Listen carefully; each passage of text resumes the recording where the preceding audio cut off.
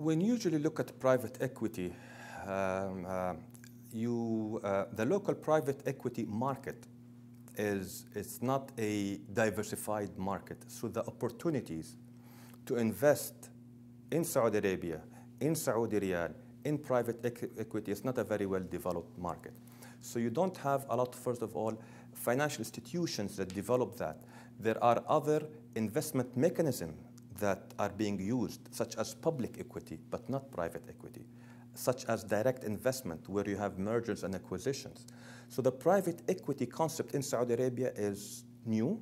It is uh, not mature yet, but it's developing.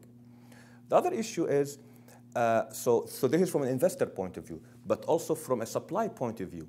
So if someone has a company and he wants to uh, uh put it down and put it in the market, they're usually looking at directly converting from a full ownership to a publicly held company, not to a private placement or, pub, or publicly or, pri or private, uh, private equity.